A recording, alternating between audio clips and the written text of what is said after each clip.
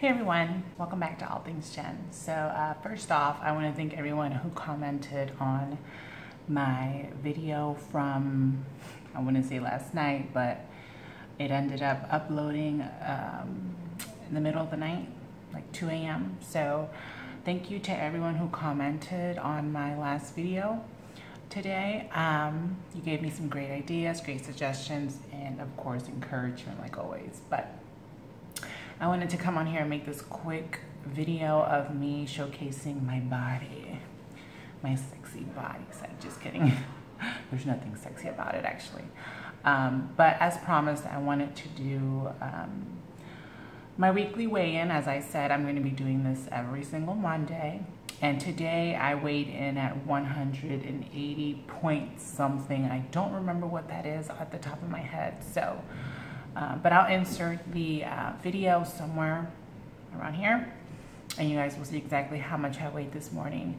Um, so I'm basically like around eight pounds down from last Monday, which is great. That means I lost a little bit over a pound a day in a week. So that is amazing. However, I don't know that you're gonna be able to tell a difference. I'm not too sure about that. But I'm gonna try to uh, put the other video right next to this one so you guys can compare, you know, if I have that ability, you know, to, to do that on my um, editing software. I'm not too sure that I'll be able to, but I'm gonna try. So this is my second weekly body shot. Enjoy.